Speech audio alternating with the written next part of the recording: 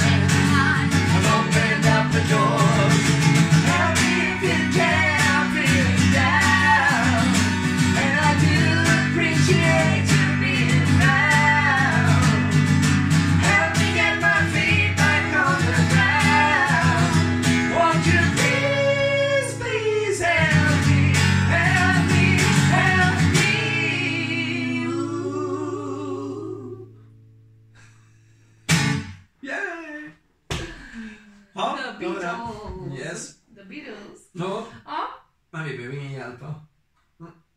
till... Vad tänker du? Nej, jag tänkte på själva låten. En hjälp? Ja. Nej, alltså. Nej. Ja, det är bra.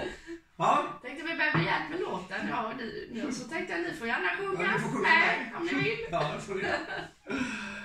Ja, Ja, då så. då är det frukost. Mm, då var det frukost och sen var det skolgång. Jaha, Mm, då var det gig då. ja, så är det. Men vi hoppas ju att vi ses imorgon.